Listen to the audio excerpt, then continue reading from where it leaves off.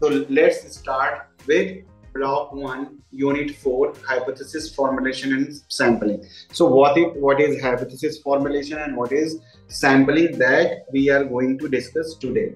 So uh, uh, मैं नहीं चाहता था कि टाइम uh, मैं हम खराब करें क्लास का यहाँ पे बट किसी ने किया ही नहीं so that is why I asked you people to do right now so we are going to discuss introduction objectives meaning and characteristics of the hypothesis uh, formulation of hypothesis कैसे हम formulate करते हैं and the possible difficulties in formulation of good hypothesis what kind of problems you can face understand these things very carefully because in final year now you have option but you many of you may will like may uh, choose to do the project now they have options also like take project or positive psychology paper तो uh, अच्छे से समझेंगे तो even in MA या फिर आप कभी PhD करने का सोचते हैं then also these things will be very helpful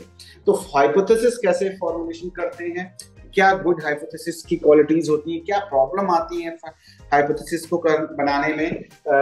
And what kind of error like you may have तो सॉरी एंड देन सैम्पलिंग क्या होता है और सैम्पलिंग कैसे हम करते हैं types of sampling methods and importance क्या है सैम्पलिंग का these things we will discuss so in this unit like we will cover the concept of hypothesis its characteristics, formulation, types, error in hypothesis testing. It also discusses sample design, sample method, and the and their advantages and disadvantages. And we will also discuss the cost and dynamic nature of population and data collection. कि क्या फ़र्क होता है data और उसमें जो क्या कहते हैं, हमारी कॉस्ट क्या इन्वॉल्व होती है टाइम क्या लगता है all those thing and these are our objectives कि इस यूनिट में हम क्या सीखेंगे that is what it is and then first thing and characteristic the characteristics of the hypothesis we should understand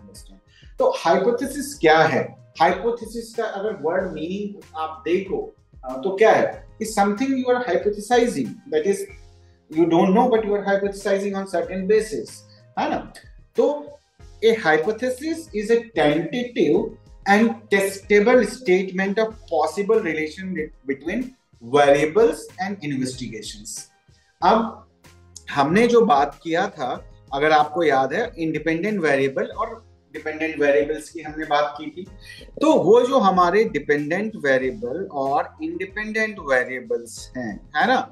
उनका रिलेशनशिप क्या होगा, है ना? अंडर इन्वेस्टिगेशन यानी जो हम इन्वेस्टिगेट कर रहे हैं डिपेंडेंट इंडिपेंडेंट वेरिएबल उनके बीच में रिलेशनशिप क्या होगा? हम इन्वेस्टिगेशन करेंगे तो क्या हाइपोथेटिकल आंसर आ सकता that is what hypothesis is and it must be tested and against empirical data meet certain criteria to be considered useful in study तो कहने का मतलब ये है कि हम जैसे हम डिपेंडेंट वेरिएबल और इंडिपेंडेंट वेरिएबल वही ले सकते हैं जो टेस्टेबल हो एंड मेजरेबल हो, जिनको हम मेजर कर सकते हैं और टेस्ट कर सकते हैं। सिर्फ़ वही क्या कहते हैं वेरिएबल्स हम ले सकते हैं, जिसको मेजर नहीं कर सकते स्टडी कैसे करेंगे? तो सिमिलरली और इंपेरिकल डेटा का मतलब ये हुआ कि फैक्ट्स तथ्य जिनको हिंदी में बोलते हैं फैक्ट बेस्ड होना चाहिए, और तभी वो यूजफुल होगा हमारी स्टडी के लिए otherwise it is not useful at all ठीक है? तो ये चीज़ें हमें समझनी पड़ेंगी। तो हाइपोथेसिस क्या है? इन आईवी और डीवी के बीच का रिलेशनशिप है, लेकिन ऐसा नहीं है कि इसको हम हवा में कुछ बना देंगे, है ना? ऐसा नहीं है। इसके लिए प्रॉपर चीज़ें हैं, कैसे हम बनाते हैं, कैसे हम अराइव करते हैं कि क्या हमारी जो है हाइपोथेसिस है, वो क्या है, हम कैसे बनाएँ इसको ठीक है? किस तरीके से हम बेटर हाइपोथेसिस बना सकते हैं। तो वो हम प्रोसेस बात करेंगे। तो अब इसकी करेक्टरिस्टिक्स क्या होनी चाहिए? नंबर एक hypothesis should be conceptually clear यानी कॉन्सेप्ट वाइज क्लियर होनी चाहिए। अगर आप कह रहे हैं, जैसे हम पहले भी बात कर चुके हैं एग्ज़ाम्पल में कंटिन्यू कर रहा हूँ सिमिलर एग्ज़ाम्पल ज़्यादातर क्लासेस में मैं करता हूँ कि आईक्यू और एकेडमिक अचीवमेंट के बीच में रिलेशनशिप हम देखना चाहते हैं। दैट इज़ माय प्रॉब्लम या अवर प्रॉब्लम सो अब आईक्यू और क्या कहते हैं, उसके बीच में क्या रिलेशनशिप होगा, हमें हाइपोथेसिस में लिखना है। ठीक है? और वो क्लियर होना चाहिए कि भाई, मैंने ये लिखा कि there will be a positive correlation between IQ and academic performance positive relation में people who have higher IQ they will perform better in the in their academics This will be the hypothesis. Hypothesis must be testable. Now we can test it also. We can we can measure the IQ and we can also measure the achievement through grade levels or whatever you want to use. या class के ही scores आप percentage में लेना चाहते हैं. Hypothesis should be related to existing body and theory and, and impact. अब क्या है कि ऐसा नहीं अपने मन से बना दिया कि भाई IQ अब IQ जो है ज़्यादा होगा तो एकेडमिक अचीवमेंट भी लेट्स से जो बहुत लंबा चौड़ा और हेल्दी पर्सन है, उसकी परफॉर्मेंस अच्छी होगी। अब इसको इसको लेके कोई हमारे पास वो नहीं है, क्या कहते हैं, कोई भी फैक्ट्स नहीं है, कोई रिसर्च नहीं है तो हम इसको नहीं बना सकते। है ना? भाई, किस बेस पे आप कर रहे हो? किस बेस पे आप बता रहे हो कि रिलेशनशिप हाँ आईक्यू में, क्योंकि हम हमेशा देखते हैं कि आईक्यू वाले लोग ज़्यादा बेहतर परफॉर्म कर रहे हैं डिफरेंट एरियाज़ में तो एकेडमिक में भी ज़्यादा अच्छा परफॉर्म करना चाहिए या किसी और एरिया में भी ज़्यादा अच्छा परफॉर्म करना चाहिए। So that is what that is based to existing body of theory और उसका इम्पैक्ट क्या होता है उस पर बेस्ड होना चाहिए। Next, that is the fourth thing, hypothesis should have logical unity and comprehensiveness. कुछ तो लॉजिक हो यू आर सेइंग कि आपका बॉडी बिल्ड अच्छा होगा तो आपका आईक्यू भी अच्छा होगा। That is not logical actually it doesn't आपका ब्रेन कैसे काम करेगा आपकी बॉडी से डिसाइड नहीं होगा है ना? तो ये है। तो hypothesis should have logical entity and comprehensiveness comprehensive और लॉजिकल होनी चाहिए।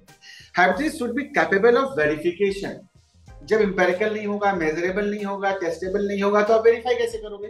तो वेरिफिकेशन का मतलब भी यही है कि उसको आप मेजर कर सको फैक्ट्स चेक कर सको and then only you can say something hypothesis should be operationalizable कि आप उसको कर सकें। आप बोले कि मैं टेस्ट करूँगा कि भगवान है कि नहीं है। गॉड एग्जिस्ट और गॉड डजंट एग्जिस्ट तो you can not check because there is nothing to measure the God और even anything abstract that you want to assess so so, वो ऑपरेशनल नहीं है IQ is operational IQ well defined concept so that is what hypothesis uh, uh, आपका होगा ठीक है then we are coming to uh, formulation of hypothesis कैसे हम formulation करते हैं? Number one, science involve observation, hypothesis, formulation and testing.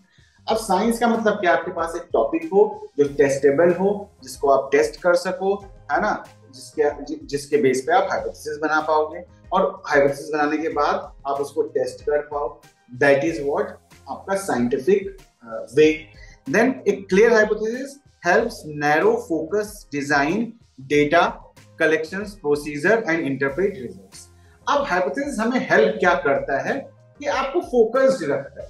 अगर मैं बोलूँ कि मुझे ये देखना है कि किन बच्चों की एकेडमिक परफॉर्मेंस अच्छी होती है तो क्या होगा?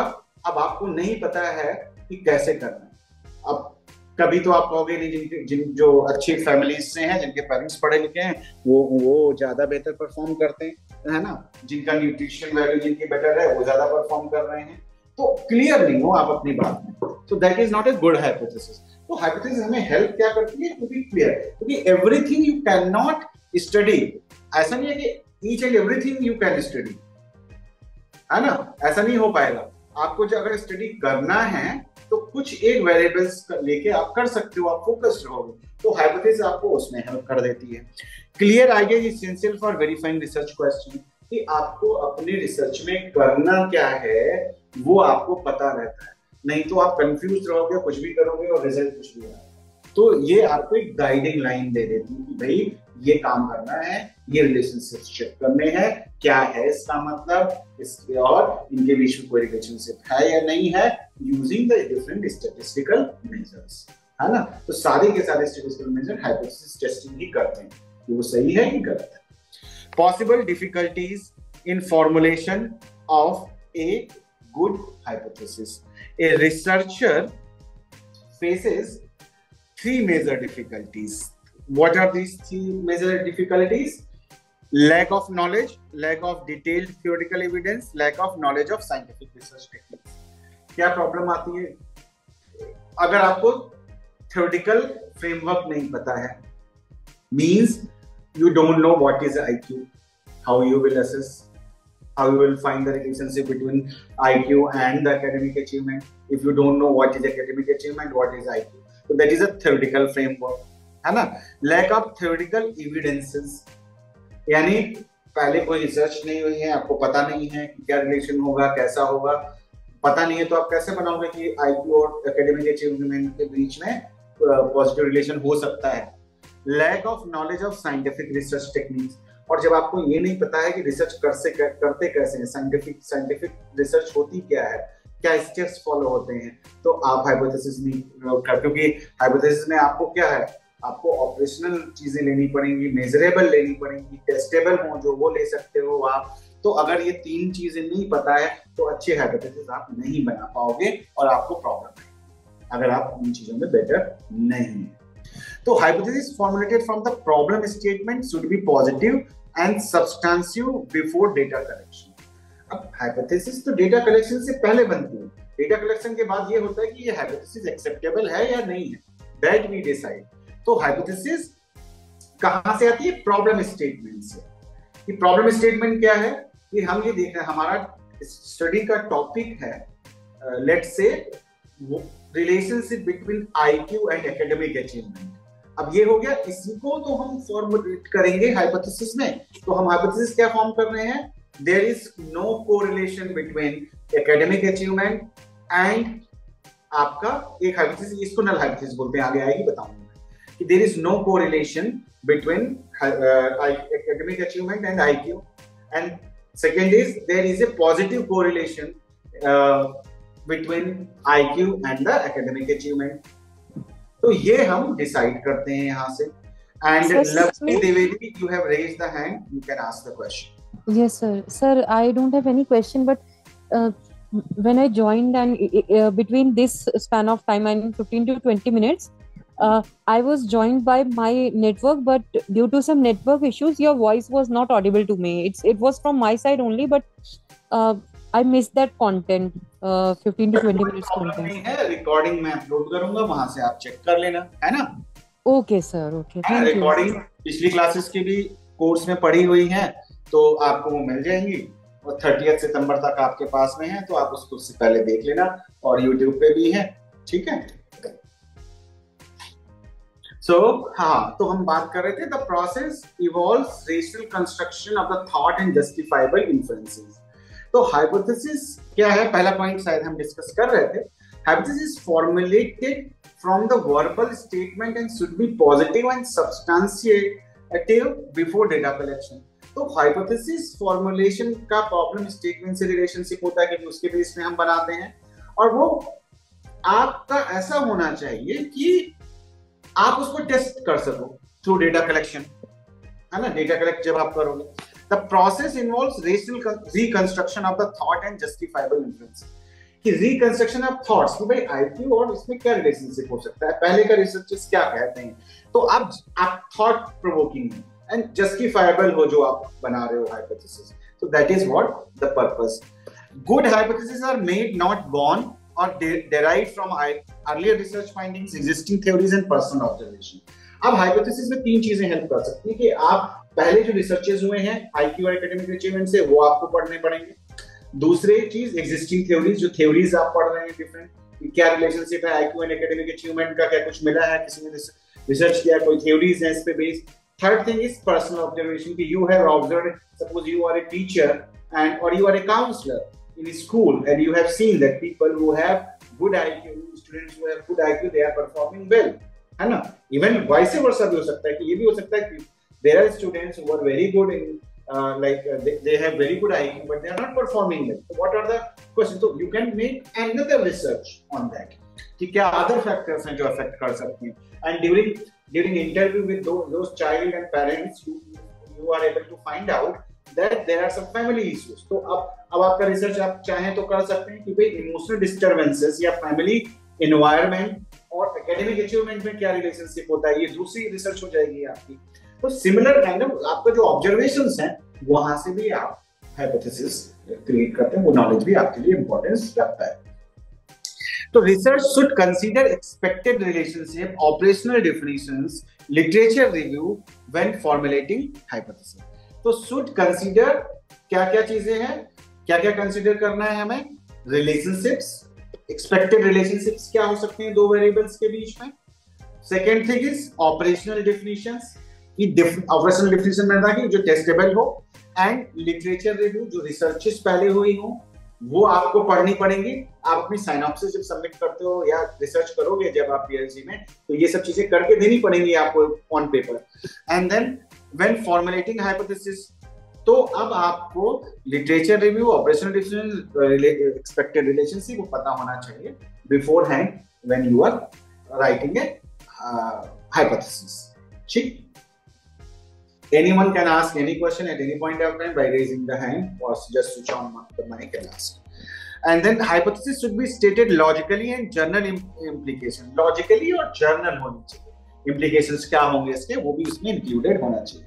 अब hypothesis जो है, there are two types of hypothesis. Many of you have may have heard because of uh, like you if you have done any uh, graduation in any uh, social science subject even in other subjects also uh, in science also we need uh, researches and research and all so uh, null hypothesis and alternate hypothesis there are two types of hypothesis and uh, null hypothesis means there is no relationship uh, we write and we call it h0 है ना इससे हम denote करते हैं इसको and ये लिखा हुआ है तो null hypothesis represented as H O is a H zero is a crucial tool in inferential statistics asserting that there is no true difference between two population means, indicating that difference are accidental and due to chance, it should always be specific.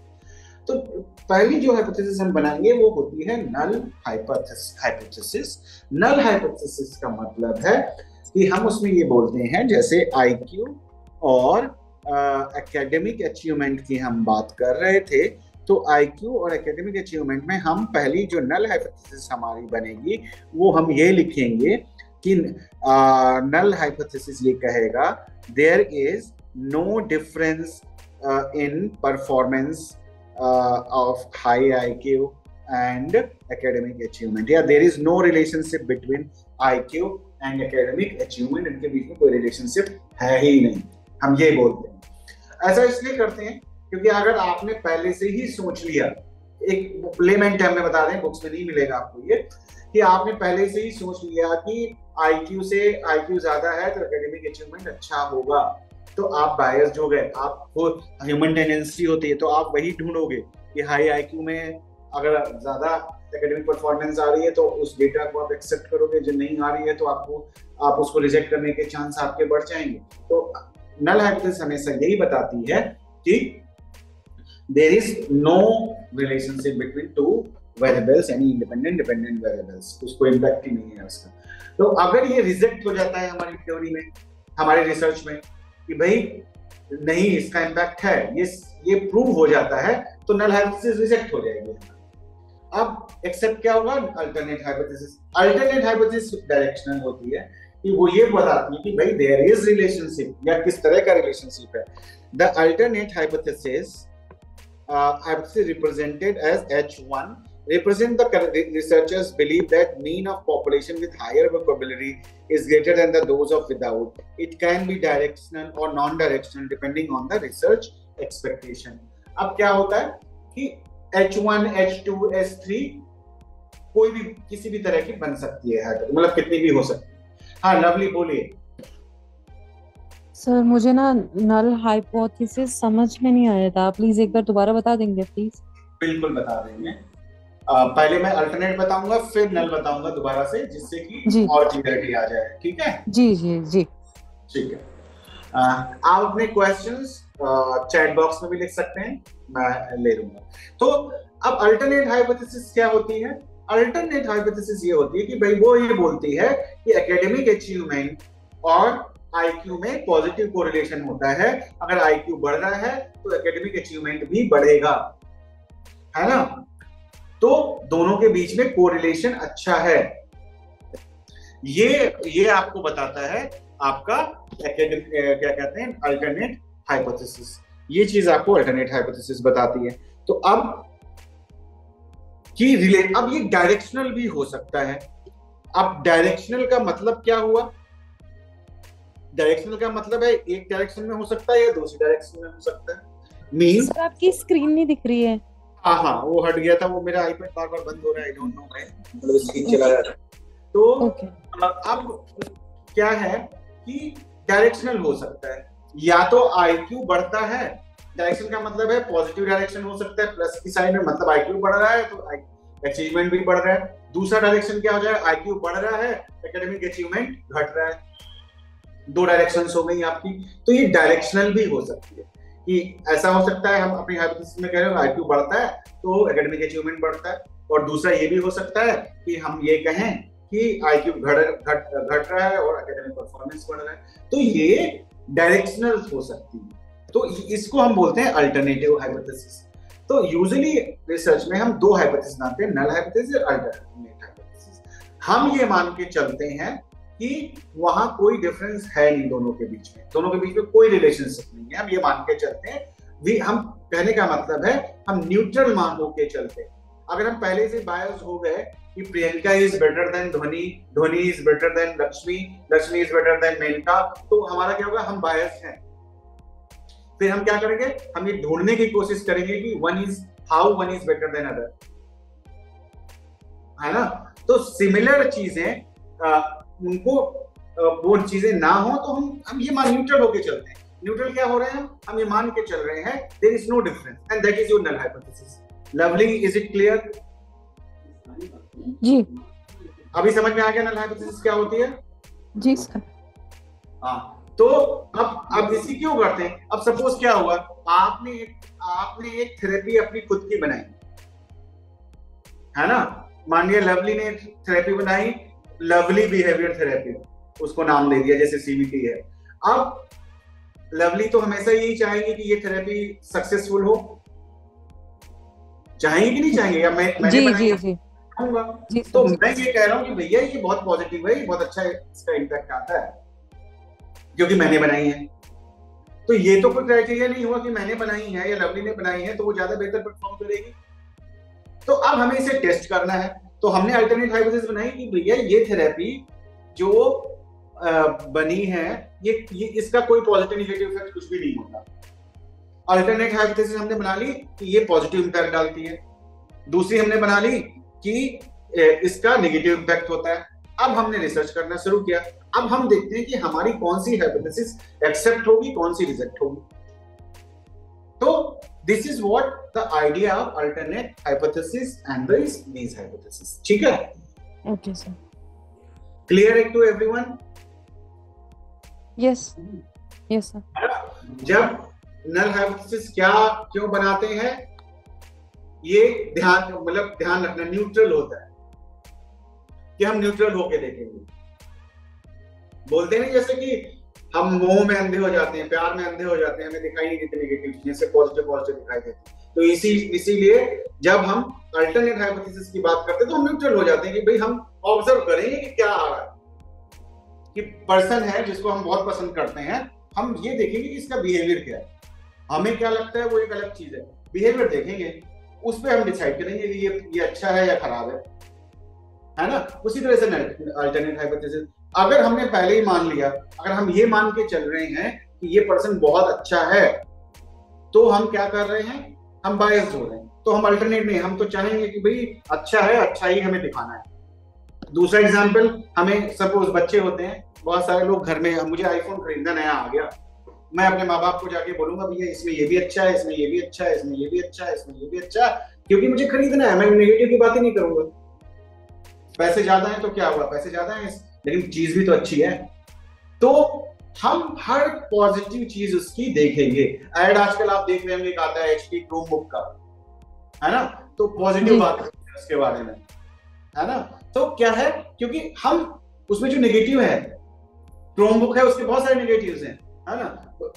उसको use करोगे आप अगर normal laptop use करते हो तो आपको नहीं पता लेकिन आप वो सिर्फ़ वो दिखाया जा रहा है उसमें जो कैरेक्टर्स दिखाए जाते हैं वो ये दिखाया जाता है कि भाई वो पढ़ाई कर रही थी देखो ऐसा अच्छा है। अच्छा अच्छा होमवर्क कर रहे हो अच्छा लिफ्ट में भी होमवर्क हो जाएगा घर में भी हो जाएगा that kind of thing so कहने का मतलब हम सिर्फ़ पॉजिटिव देखते हैं अगर हम बायस हैं। सो so, ये चीज़ें होती हैं। Now we are coming to errors in the testing hypothesis बहुत ही कंफ्यूजिंग हाँ।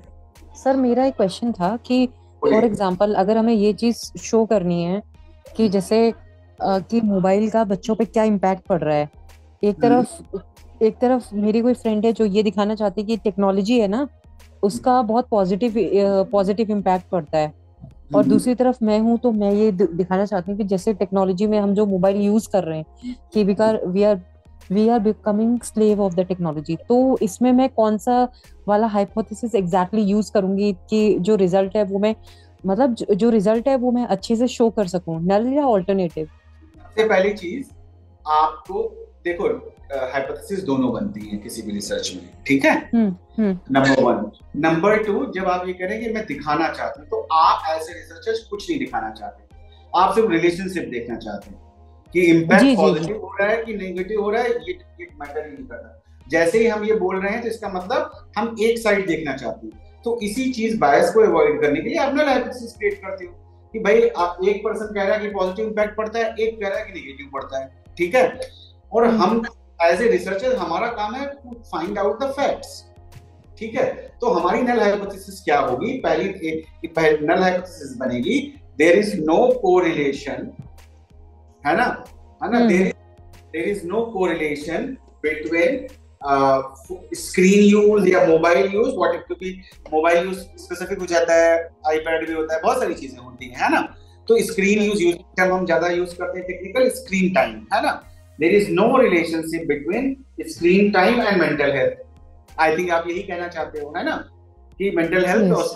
है ना? चाहे वो एडिक्शन है जो भी है। तो आप तो आपकी नल हाइपोथेसिस बन जाएगी there is no relation between mental health and ठीक? ये हो और सर अगर अल्टरनेटिव हाइपोथेसिस अगर मैं क्रिएट करती हूँ तो क्या वो बायस में चला जाएगा या नहीं जाएगा? नहीं नहीं आप सुनी सुनते हैं भाई। पहले आप एक बात समझो। तो क्या कहते हैं मैं आपको बताता हूँ अभी चीज़।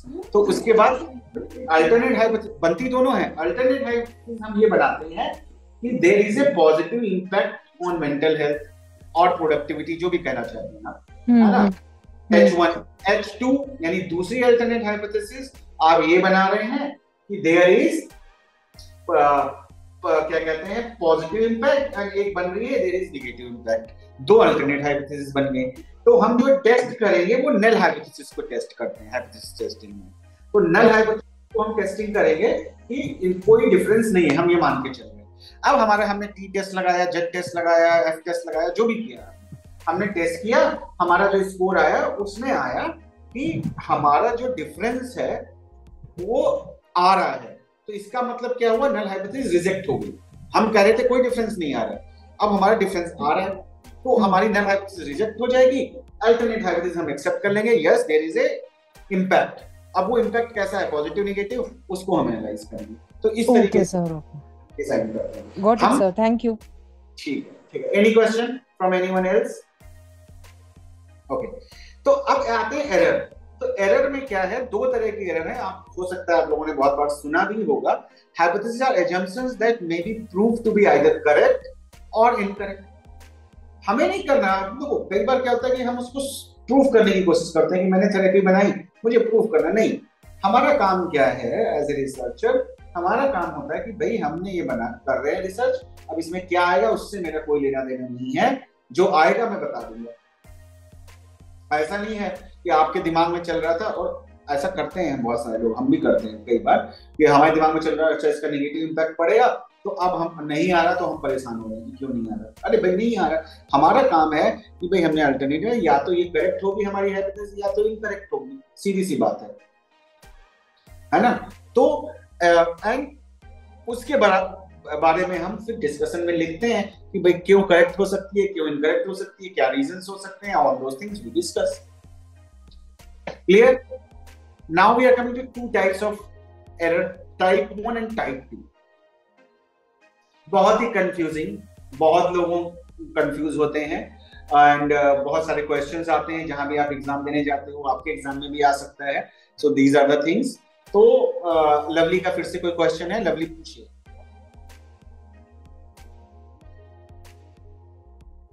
Lovely you raise the hand okay I think she is not able to hear okay बाकी लोगों को सुनाई दे रही है आवाज़? आ रही है?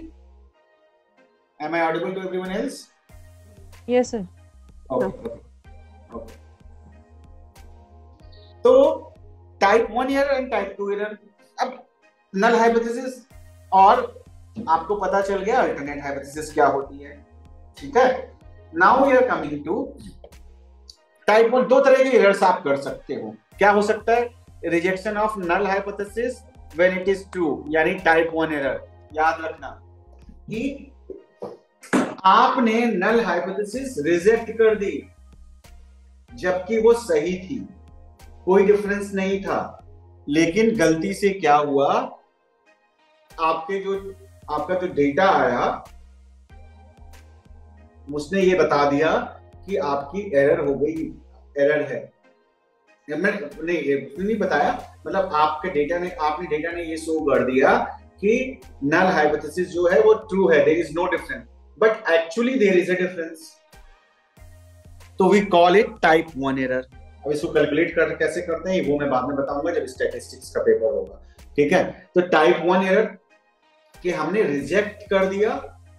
नल हाइपोथेसिस जबकि वो ट्री थी मतलब कोई डिफरेंस नहीं था लेकिन हमने क्या हम, हमारे रिसर्च में आ गया कि देर इज़ ए डिफरेंस और हमने नल हाइपोथेसिस रिजेक्ट कर दी this is type one error अब टाइप टू एरर इसका उल्टा है।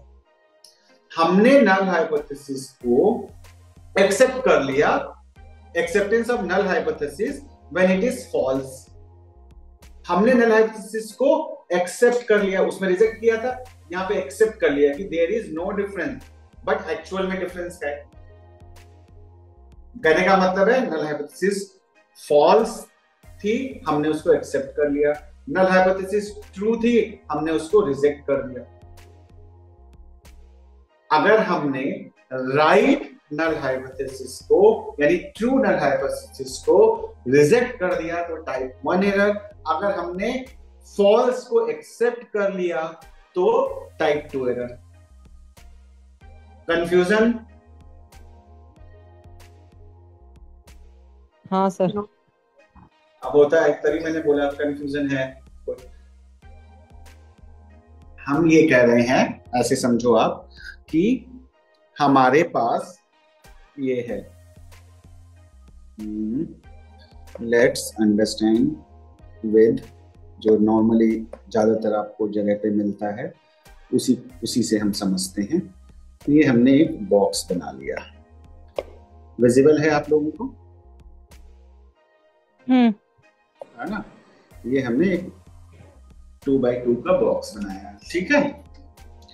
अब हमने लिख दिया ये वन का मतलब है ये टाइप वन एरर टू का मतलब है टाइप टू एरर ठीक है? हम्म? जी। हम्म, हो गया। ये आपका है कैसे बनेगा? मैं हो सकता है गलत बना रहा हूँ दोबारा से फिर रीडो करना पड़ेगा। देखते हैं। अब ये आपकी है नल हाइपोथेसिस ये आपकी है अल्टरनेट हाइपोथेसिस ठीक है? हम्म। अब नल नहीं नल हाइपोथेसिस अल्टरनेट हाइपोथेसिस अब ये यहाँ पे ये ये हटाना पड़ेगा मुझे। मुझे भी याद नहीं आ रहा था। नल हाइपोथेसिस आई थिंक यहाँ पे आएगा आपका। ये नल छोटे से लिखता हूँ। ये नल हाइपोथेसिस ये अल्टरनेट हाइपोथेसिस ठीक है? ये हो गया। और यहाँ पे आ जाएगा ये ट्रू ये फॉल्स ठीक है? नल हाइपोथेसिस ये है नल हाइपोथेसिस है ना? राइटिंग में थोड़ा सा वैसा लिखा हुआ है लेकिन आपको समझ में शायद आ रहा होगा। तो नल हाइपोथेसिस ट्रू है ठीक है? टाइप वन देखो। नल हाइपोथेसिस यहाँ वाला टाइप वन एरर में। नल हाइपोथेसिस ट्रू है ठीक है? और उसको हम रिजेक्ट कर देते हैं। क्या कर देते हैं? रिजेक्ट हाँ नल हाइपोथेसिस कह रही है कि देयर इज़ नो डिफरेंस है ना? और एक्चुअल में देयर इज़ नो डिफरेंस यानी ट्रू का मतलब तो यही हुआ कि नल हाइपोथेसिस कह रही देयर इज़ नो डिफरेंस और देयर इज़ एक्चुअल में there is no difference but हमने एक्सेप्ट कर ली। हम सॉरी हमने रिजेक्ट कर दी। हमने बोल दिया कि देयर इज़ डिफरेंस हमने नल हाइपोथेसिस रिजेक्ट कर दी अल्टरनेट एक्सेप्ट कर दी। हम्म। तो ये हो गया क्या? रिजेक्ट करना क्या हो गया? ये टाइप वन एरर हो गया। अब नल हाइपोथेसिस है ना? हम्म। नल हाइपोथेसिस आपका एक एक बार दोबारा से बनाता हूँ। एक मिनट। अभी अभी सही बनेगा सही क्या? वो भी ठीक था। लेकिन अब इसमें ये हो गया। ठीक है? ये हो गया एक्सेप्ट ऐसे लिखते हैं। एक्सेप्ट और ये हो गया रिजेक्ट चार कॉलम बन गए। ये नल हाइपोथेसिस हो गई, ये अल्टरनेट हाइपोथेसिस हो गई। तो नल हाइपोथेसिस इज़ अब यहाँ से हम इसको कंपेयर भी करते जाएँगे साथ में। नल सॉरी ये अल्टरनेट है ना? तो अब यहाँ पे आप इसको देखो। ये है नल हम टाइप वन एरर क्या कह रहा है? Rejection of true null hypothesis जो नल हाइपोथेसिस ठीक है, उसको हम रिजेक्ट कर रहे हैं। तो ये नल हाइपोथेसिस आपकी है है ना? हम्म, और ये ये ट्रू और ये फॉल्स यहाँ पे ऐसे आ जाएगा वो अंदर आएगा है ना? नल हाइपोथेसिस आपकी ये है ये ट्रू है ठीक है? और इसको हम्म। आप क्या कर रहे हो? आप इसको एक्सेप्ट कर ले आप इसको एक्सेप्ट कर ले हो तो क्या हो जाएगा? यानी नल हाइपोथेसिस सही है आपने उसको एक्सेप्ट भी कर लिया तो ये राइट डिसीज़न हो गया कि नहीं हो गया? ये टाइप वन एरर में आएगा ना? ओ नहीं, ये यस सर टाइप टू में। नहीं एरर नहीं है। भाई कोई डिफरेंस नहीं था। हमारे रिसर्च में भी आया कि कोई डिफरेंस नहीं है। यानी नल हाइपोथेसिस ट्रू है हमने एक्सेप्ट कर लिया गुड इनफ हम्म, अब नल हाइपोथेसिस नल हाइपोथेसिस क्या है? नल हाइपोथेसिस है कि कोई डिफरेंस नहीं है। ठीक है? और वो नल हाइपोथेसिस आपकी आ, क्या कहते हैं उस नल हाइपोथेसिस में क्या किया ये ये ऐसे देखो ये पहले टाइप वन ही कर लेते हैं। नल हाइपोथेसिस ट्रू है। ये क्या बोल रहा है? Rejection of null hypothesis when it is true यानी नल हाइपोथेसिस ट्रू का मतलब क्या हुआ? कि देर इज़ नो डिफरेंस हम ये मान रहे हैं। क्या है? Hmm. There is no difference ये सही है। ठीक है? Null hypothesis hmm. हमारी सही है लेकिन हमने क्या किया? रिजेक्ट कर दिया। तो नल हाइपोथेसिस इज़ ट्रू और हमने उसको रिजेक्ट कर दिया। ये नल ये नल हाइपोथेसिस था और हमने उसको रिजेक्ट कर दिया तो वो हो गई टाइप वन एरर ये कॉलम गलत बन रहा है कंफ्यूजन क्रिएट करेगा। है ना? मैं बना नहीं पा रहा हूँ ठीक से एक्चुअली थिंग इज़ तो अब क्योंकि क्या कौन सी चीज़ बाहर रखनी है कौन सी अंदर वो नहीं समझ वो गड़बड़ हो रहा है। तो वो मैं नेक्स्ट उसमें बता दूँगा। लेकिन सिंपल सा है कि आपको ये कॉलम इस तरह से कि एक्सेप्ट रिजेक्ट और ट्रू एंड फॉल्स का सिस्टम होता है। तो एक टाइप वन एरर हो जाता है। तो अगर टाइप वन एरर ये कह रही है कि हमारी ट्रू हाइपोथेसिस जो है वो ट्रू है लेकिन हम उसको रिजेक्ट कर देते हैं। है ना? और टाइप टू एरर कह रही है कि हमारी uh, you give an example? Like uh, मतलब हमारे डेटा से मतलब हमारे डेटा में कुछ रॉन्ग आया है या फिर मतलब हमारे से कोई और एरर हुआ है? मतलब how do we know different different sampling की वजह से होता है वो हम कैलकुलेट कर सकते हैं। और हम कम कर सकते हैं कि किस तरीके से हम उसको कम कर सकते हैं। Type one type two error को उसकी टेक्निक्स होती हैं वो स्टैटिस्टिक्स में होती हैं। है? एक्चुअली जैसे सर स्टैटिस्टिक्स का जैसे हम लोग की क्लास थी सर ने बताया था ना जैसे हमने टेस्ट किए थे। तो अगर हाँ। वो रेंज में मतलब अगर रेंज में सपोज़ आ गया मतलब लेकिन हम फिर भी रिजेक्ट मतलब क्या हमारा कैलकुलेशन एरर हो सकता है sir can that be one reason calculation error हो सकता है कुछ भी हो सकता है। कैलकुलेशन सैम्पलिंग एरर हो सकता है आपका है ना? सैम्पलिंग की वजह से भी होता है हम्म। इन चीज़ों में। अब देखो मैं मैंने एक बार सर्च कर लिया है सॉरी वो जो हम्म।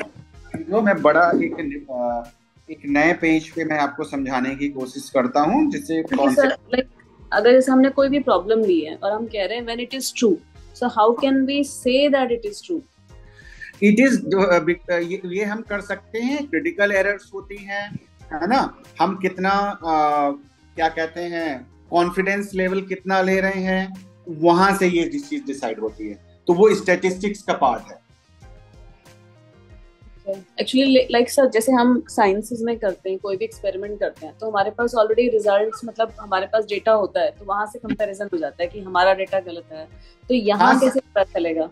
मैडम वही स्टेटिस्टिक्स यहाँ भी यूज़ होती है हमारे पास टेबल्स होते हैं कि पॉपुलेशन के मीन्स कैसे वेरिएबल वेरी करते हैं। Z Z table T table है ना एफ़ टेबल जैसे वो सेम स्टेटिस्टिक्स है जब हम साइंस हम्म। की बात करते हैं तो साइंस में मोली जो फ़िज़िकल साइंसेस जो आप बात कर रहे हो वहाँ पे हम्म। क्या होता है वहाँ पे हम लोग एग्जैक्ट टर्म्स में यूज़ कर सकते हैं चीज़ों को मेजर कर सकते हैं लेबोरेटरी असेसमेंट कर सकते हैं तो वहाँ पे ज़्यादातर एक्सपेरिमेंटल मेथड्स यूज़ होते हैं और सोशल साइंसेज में psychology sociology economics political science यहाँ पे हम लोग नॉन एक्सपेरिमेंटल मेथड्स ज़्यादा यूज़ करते हैं या okay. तो ये फ़र्क होता है स्टैटिस्टिक्स वही होती है। स्टैटिस्टिक्स के कुछ में, कुछ मेथड्स वहाँ पे ज़्यादा बेहतर तरीके से अप्लाई होते हैं क्योंकि वो फ़िज़िकल साइंस है you can measure height like in even decimals also sorry हाँ मतलब मिलीमीटर्स आल्सो लेकिन mm-hmm. यहाँ तो आप एंजाइटी नहीं मेजर कर सकते कि आप हाँ। तो वो जो हम जैसे करते हैं वो स्टैट. में आपको आएगा कि कैसे हम मेजर करते हैं क्वांटिफाई कैसे करते हैं वो सारी चीज़ें स्टैट में आएँगी। चीज़ें यहाँ पे भी रहेंगी। टेबल मैं दोबारा से बना के बताता हूँ है ना? तो अब ऐसे समझते हैं यहाँ पे आ जाएगा आपका ट्रू क्योंकि वो कंफ्यूजन ना क्रिएट करे क्योंकि मैंने भी दो बार ट्राई कर लिया मेरे को वो नहीं और यहाँ पे आ जाएगा आपका रिजेक्टेड यहाँ पे आ जाएगा आपका एक्सेप्टेड ठीक है? तो अब क्या हुआ कि और अब हमारा क्या है कि ये हमारी नल हाइपोथेसिस को लेके हमने ये बना लिया। तो नल हाइपोथेसिस हमारी ट्रू है और इसको हमने रिजेक्ट कर दिया। ये कॉलम का, ये मतलब तो यही हुआ ना, ये इधर का इधर का तो ये कॉलम क्या हो गया? ट्रू बट रिजेक्टेड ठीक है? ट्रू है, पर रिजेक्ट हो गई। तो ये टाइप वन एरर हो गया। अब फॉल्स है रिजेक्टेड ये रिजेक्ट वाला कॉलम है रो है। फॉल्स और रिजेक्टेड ऐसे याद करने में थोड़ा इजी हो जाएगा। फॉल्स है रिजेक्ट कर दी अच्छी बात है यही हम चाहते थे कि अगर वो गलत है तो उस, उस वो रिजेक्ट हो जाए। क्लियर आई बात समझ में? जी। है ना? हमारे रिसर्च के अंदर कोई रिलेशनशिप है ही नहीं फॉल्ट मतलब रिलेशनशिप नहीं है और क्या कहते हैं और वो फॉल्सली है तो अब उसको हमने रिज़ल्ट कर दिया उसको हमने रिजेक्ट कर दिया तो इट इज़ राइट तो ये हमारा आइडियल आइडियल सिचुएशन रिसर्च का ये है कि भाई टू नल हाइपोथेसिस हमारी फॉल्स थी और हमने उसको रिजेक्ट कर दिया। तो ये राइट राइट चीज़ हो गई ना। सही बात हो गई। कि हमें यही करना था। सेकेंड इंपॉर्टेंट थिंग क्या आती है कि भाई ये एक्सेप्टेड ट्रू है और एक्सेप्ट भी होगी मतलब ये ट्रू वाला कॉलम है। अगर ऐसा क्वेश्चन आ जाता तो हमें भी क्या ऐसे टेबल बना के शो बिल्कुल बिल्कुल आप बना के समझा सकते हैं कि क्या होता है। ना? आपको अच्छे मार्क्स मिलेंगे। अगर आप ऐसा करते हैं तो। तो एक्सेप्टेड है तो ट्रू है, और हमने एक्सेप्ट कर लिया अच्छी बात है भाई। सच है, सच को सच मान लिया हमने। तो no error right thing and then false है, और हमने एक्सेप्ट कर ली कि भाई नल हाइपोथेसिस गलत है रिलेशनशिप है, ऐसा नहीं है कि नहीं है। और हमने, लेकिन हमने नल हाइपोथेसिस को एक्सेप्ट कर लिया कि हाँ भाई, कोई डिफरेंस नहीं है, जबकि है रियल में। तो वो हो गया आपका टाइप टू एरर तो ये दो एरर्स हो जाएँगे और ये दो राइट डिसीज़न हो गए आपके। तो this is this is your you can say type one and type two error you can repeat the videos again and again to watch ठीक है? तो ये आप कर सकते हो। तो type one type two error मैंने आपको बता दिया। अब नेक्स्ट uh, जो चीज़ है वो आता है आपका importance of hypothesis formulation importance जैसे मैंने बताया hypothesis formulation is a crucial for scientific research क्योंकि आपको एक गाइडिंग लाइन देता है लिंकिंग थ्योरी क्योंकि थ्योरी पे बेस होता है थ्योरी और प्रैक्टिकल आपके रिसर्च को इंडिकेट लिंक करता है, कि सही है कि गलत है इन्वेस्टिगेट करने में हेल्प करता है leading to discovery of new knowledge क्योंकि आपको पता लगता है कि भाई इसका कुछ इम्पैक्ट है या नहीं है अवॉइडिंग अनफोकस इंपेरिकल वेंडरिंग ये आपको इधर उधर भटकने से बचा लेता है। कि जो काम आप करना चाह रहे हो, वही कर आप कर रहे हैं या कुछ और तो नहीं कर रहे हैं। तो this is all about you can say hypothesis testing hypothesis क्या होती है? एंड हाइपोथेसिस की क्वालिटीज क्या होती हैं? एंड कैसे हम फॉर्मुलेट करते हैं? What kind of error we can like we may have when you are when uh, like uh, we are creating hypothesis ठीक है uh, है ना ये hypothesis हो गया था हमारा now we are uh, discussing sampling है ना तो सैम्पलिंग क्या होता है ये जानने की हम कोशिश करते हैं तो सैम्पलिंग क्या है कि पहले मैं कॉन्सेप्ट समझाता हूँ फिर मैं वन बाय वन उस पर चलेंगे तो सपोज़ आपको स्टडी करना है कि आप सब, मान लिया कि आप दिल्ली में हैं और आपको ये देखना है कि दिल्ली के जो जो फीमेल्स हैं उनका क्या कहते हैं फाइनेंशियल इंडिपेंडेंस को लेके क्या व्यूज़ हैं या एटीट्यूड है या कोई भी टॉपिक ले सकते हैं। या सपोज़ कि उनको हमने बोल देंगे उनको ह्यूमन राइट्स को लेके क्या उनके व्यूज़ हैं, ये आप जानना चाहते हो। तो आपको एक उसके लिए टेस्ट करना पड़ेगा तो आपकी प्रॉब्लम ये होगी, है ना? तो आपने क्या किया कि तो आपकी पॉपुलेशन क्या हो गई? पॉपुलेशन आपकी हो गई फीमेल्स ऑफ़ डेली ये आपकी पॉपुलेशन होगी अब दिल्ली में तो बहुत सारे लोग रहते हैं, कई करोड़ लोग रहते हैं, ठीक है? अगर मान लिया कि दिल्ली में 25 करोड़ लोग रहते हैं या 20 करोड़ लोग रहते हैं, जो भी रहते हैं, पाँच करोड़ लोग रहते हैं तो उसकी 50 परसेंट पॉपुलेशन आपकी फीमेल होगी। लेट से एज्यूम कर लेते हैं है ना? तो अब जब इतनी पॉपुलेशन होगी तो सारे के सारे के ऊपर रिसर्च करना तो मुश्किल काम होगा। क्योंकि अब मान लिया कि पाँच लाख लोगों पे या या पचास लाख लोगों पे आप मान लिया एक करोड़ है और पचास लाख लोगों के पॉपुलेशन है और उसमें से पचास लाख फीमेल्स है। उनके ऊपर आप कुछ मेज़रमेंट करते हो टेस्ट करते हो, उनसे बात करते हो इंटरव्यू करते हो तो इसमें तो बहुत लंबा टाइम लग जाएगा। तो अब ये जो पॉपुलेशन है, इसको हम पॉपुलेशन बोलते हैं। फीमेल्स ऑफ़ डेली आपकी पॉपुलेशन हो गई डिपेंडिंग ऑन योर टॉपिक अब इस पॉपुलेशन से आप क्या करते हैं? आप सैंपल लेते हैं। ठीक है सैंपल क्या हो गया कि यहाँ से ये पाँच, पचास लाख फीमेल्स थी सपोज़ पचास लाख फीमेल से आपने सैंपल लिया पाँच हज़ार। टू नो द व्यू तो सैंपल आपने कितना ले लिया? पाँच हज़ार लोगों का। क्योंकि पाँच हज़ार लोगों के ऊपर स्टडी करना आपके लिए इजी है। टाइम कम लगेगा, पैसा कम लगेगा।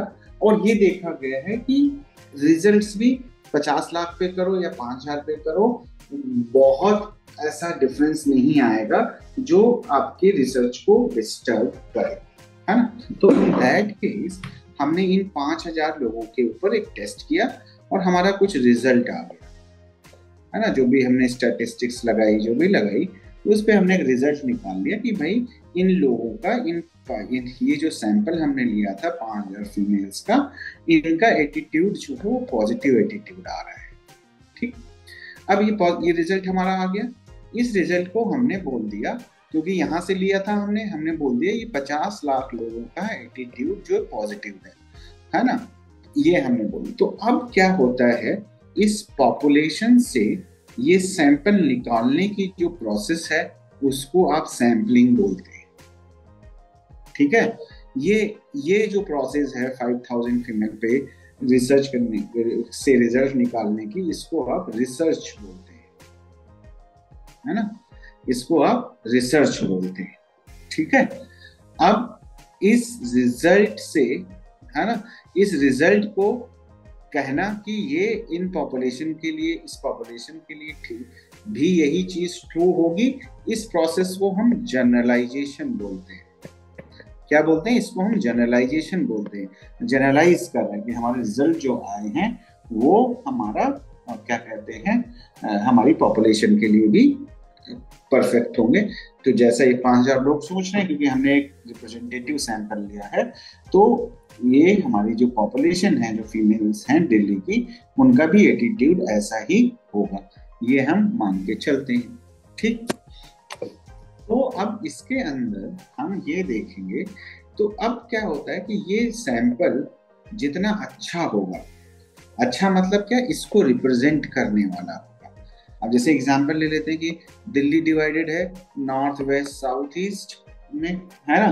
तो अगर पता चला आपने सिर्फ़ नॉर्थ नॉर्थ के लोग ले ली लिए सैंपल निकाल लिया, उन पर रिज़ल्ट निकाला और बोला, सारी दिल्ली के लोग ऐसा सोचते हैं तो गड़बड़ क्योंकि नॉर्थ में हो सकता है मिडिल क्लास रहता हो। साउथ में बहुत ही अमीर लोग रहते हैं और ईस्ट में पता चला कि यहाँ पे बहुत गरीब झुग्गी झुपड़ी वाले लोग रहते हैं और यहाँ पे भी नॉर्थ वेस्ट में भी क्या है कि लोग मिडिल क्लास वाले लोग रहते हैं या बिज़नेस तो सबके एटीट्यूड अलग अलग है। तो हमें इस तरह से सैंपल लेना होता है कि सबका रिप्रेजेंटेशन सैंपल के अंदर आए और इसी प्रोसेस को सैम्पलिंग या सैम्पलिंग मेथड्स बोलते हैं। ठीक है? जिससे कि हम एक रिप्रेजेंटेटिव क्या कहते हैं, एक सैंपल ले सकें और उसके जो रिज़ल्ट आएँगे, उसको हम जनरलाइज कर सकते हैं प्रॉपर तरीके से पॉपुलेशन के साथ। कि हाँ ये बाकी के लोग भी दिल्ली के ऐसा ही सोचते हैं। तो अब इस सैंपल को लेने की जो प्रक्रिया होती है, जो मेथड होता है, उसी को हम सैंपलिंग या सैंपलिंग मेथड बोलते हैं। ठीक है? तो अब उन चीज़ों को हम देखेंगे कि सैंपलिंग क्या होती है। तो ये कॉन्सेप्ट क्लियर है या किसी को आ, कोई डाउट है इस इसमें तो मेरे को आप बता सकते हैं। एनी डाउट किसी को कोई डाउट है? नो सर नो सर समझ में आ रहा है ये क्या मैं बोल रहा हूँ? है ना? ठीक हाँ। है हाँ हाँ। ठीक है तो अब इसी को हम समझेंगे आगे सैंपलिंग प्रोसेस क्या है। और यही आपकी बुकलेट में जो M P C zero zero five की बुकलेट है, वहाँ पे भी आप इसको पढ़ सकते हैं। तो मैंने कोशिश की है कि हम, मैं उसी, मैंने सिर्फ़ उसी के आसपास ही आपको पढ़ाया है सो so दैट आप रिफर करके पढ़ सकते हैं। हाँ वहाँ पे आपको पंद्रह बीस पेज मिलेंगे एक यूनिट में। यहाँ पे आपको वही चीज़ जो एक पैराग्राफ की एक लाइन में कॉन्सेप्ट समझाया गया सो so दैट आप समझ सको और जब दोबारा पढ़ोगे तो आपको समझ में आएगा। ठीक? तो सैम्पलिंग क्या है? Research researcher collects data from a sample of individuals to make inferences about the entire population, ensuring the result are applicable to the larger population. जो इसमें लिखा है वो समझ में आया। मैंने क्या बोला था? पॉपुलेशन से हम सैंपल निकालते हैं, ठीक है? सैंपल से पॉपुलेशन के लिए जनरलाइज कर सकते, कर देते हैं। कि यही लिखा हुआ है यहाँ पे कि researcher collect data from a sample of individuals to make inferences हम इन्फ्रेंस लगा रहे हैं ना? सैंपल से इन्फ्रेंस इन्फ्रेंसेस लगाते हैं, यानी गेस करते हैं, या हम एक प्रोडिक्शन करते हैं कि हमारी पॉपुलेशन कैसी होगी। About the entire population ensuring the result are applicable to the large population कि जो भी रिज़ल्ट आ रहे हैं हम इंश्योर करते हैं कि लार्ज पॉपुलेशन क्योंकि तभी इसका मतलब है कि अगर वो पॉपुलेशन के लिए नहीं फिट बैठेंगे तो हमारी रिसर्च करने का कोई फ़ायदा नहीं सो so, ये मैंने आपको ऑलरेडी बताया। तो सैम्पलिंग को जरा हम समझ लेते हैं डेफिनेशन क्या है सैम्पलिंग की।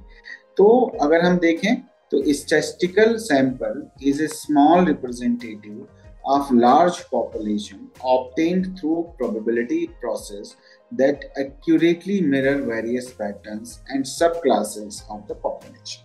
तो सैंपल स्टेटिस्टिकल सैंपल क्या है? स्मॉल रिप्रेजेंटेशन ऑफ़ पॉपुलेशन मैंने बोला ना कि ये एक पॉपुलेशन है, जैसे दिल्ली की सारी फीमेल्स जो भी हम ले रहे हैं या दिल्ली की पॉपुलेशन तो ये इसको हम पॉपुलेशन बोलेंगे। जहाँ से हम डेटा ले रहे हैं जिनको हम स्टडी करना चाहते हैं, उसमें से हम एक सैंपल निकालेंगे तो क्या है? Representative of large population obtain through probability process अब ये हम बात करेंगे कि प्रोसेस क्या होती है सैंपल ड्रॉ करने की। That accurately mirror various pattern जिस तरह की यहाँ पे पॉपुलेशन है, उसी चीज़ को, उसी का छोटा सा एक सैंपल है। सैंपल का मतलब यही होता है ना मॉडल या sample right so that is what model model या सैंपल इज़ जहाँ पे आप ये देखते हैं कि भाई किसी कि कितना आपको क्या कहते हैं रिप्रेजेंट करता है एज इट इज़ उसका एक रिप्लिका है जो सैंपल है।